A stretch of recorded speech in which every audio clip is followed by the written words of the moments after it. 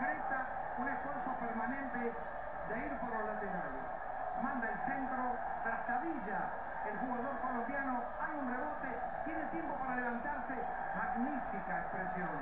Se levanta en chilena, como si viera el arco, la coloca donde García no tiene ninguna posibilidad de respuesta. Un gol de lindísima factura, bien construido y terminado de esta manera, notable por el goleador Gimnasia de Grima La Plata, que hoy tiene 8 en este momento.